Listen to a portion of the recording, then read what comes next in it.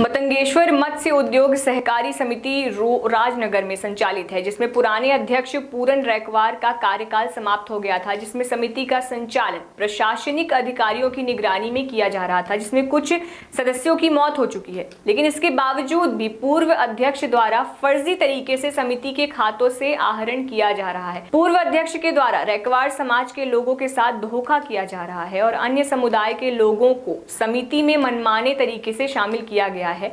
एक ही परिवार के दो लोगों के नाम भी जोड़े गए, जिसमें कुछ लोगों की मृत्यु हो चुकी है।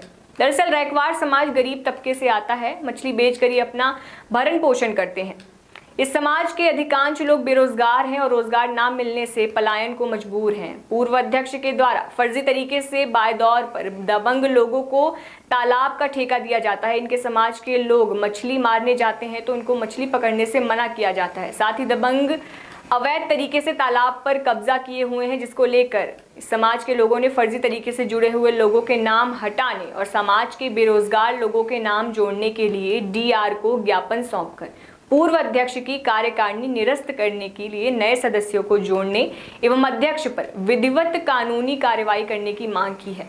डीआर कार्यालय में पदस्थ अधिकारी ने विधिवत कार्यवाही करने का आश्वासन दिया। भाजपा मत्स्य समिति के जिला अध्यक्ष आशीष रैकवार ने अधिकारियों से शीघ्र ही निराकरण करने की बात कही है।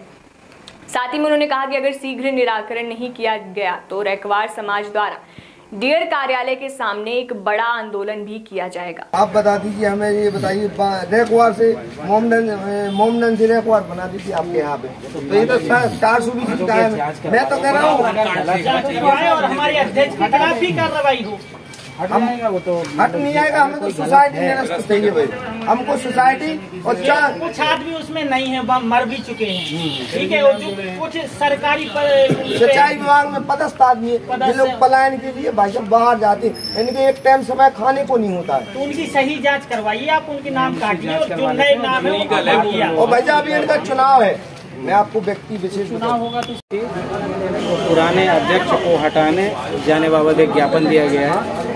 जिसमें रेखवार समाज के लोग आए हैं और उनके द्वारा ये भी बताया गया है कि समितियों में अन्य वर्ग के सदस्य भी शामिल किए गए हैं, जिसकी जाँच की जाकर उन्हें बाहर करने की कार्रवाई की जाए। ज्ञापन इनसे प्राप्त हुआ है उसकी जाँच करवाएँगे और जो भी न्यायोचित निर्णय होगा वो लिया जाएगा और अपात्र लोग को बाहर सर इसमें कुछ लोग मृत हो गए हैं जिनके नाम से पैसे भी निकाले जा रहे हैं सचिव वगैरह? मृत सदस्यों का ऐसा रहता है कि जैसे जो मृत हो जाते हैं कोई सदस्य तो उनके स्थान पे उनके परिवार का कोई वारिस का नाम चढ़ाया जा सकता है। अगर नहीं चढ़ाया जाता तो भी उसके आगे फोत लिख दिया जाता। है हालाँकि कोई कार्रवाई नहीं कर पाते वो लोग। सर समिति में कुछ फर्जी तरीके से नाम जोड़े गए हैं जिसमें कोई मुस्लिम वगैरह है और रैकवाल लिखा हुआ है तो अभी जानकारी प्राप्त हुई है ज्ञापन के माध्यम से। हम इसको जाँच करवाते हैं।